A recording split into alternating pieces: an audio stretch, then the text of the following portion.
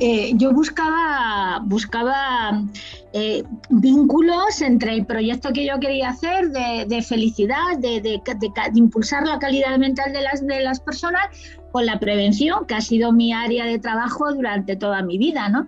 Y entonces pensé que eh, prevenir tenía un paso previo que era la prevención.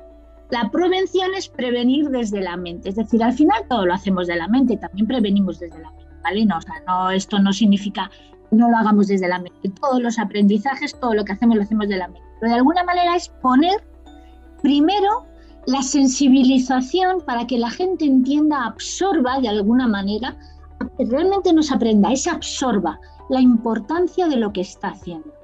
Todos tenemos la, eh, experiencia de que la gente solamente cuando ha integrado en su cultura personal las materias de prevención es cuando realmente conseguimos los éxitos. Cuando realmente conseguimos que la gente deje de fumar, que utilice los EPIs, que tenga eh, pues las normas de circulación en la cabeza, pero eso tiene que ver con absorberlo, no eso es la prevención.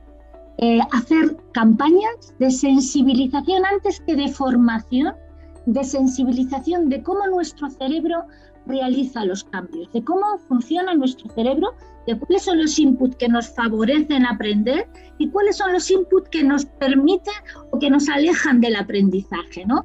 Y entonces hay una serie de funcionamientos mentales que nos facilitan o nos alejan de eso. Bueno, pues enseñar, llevar a las personas eso es la prevención.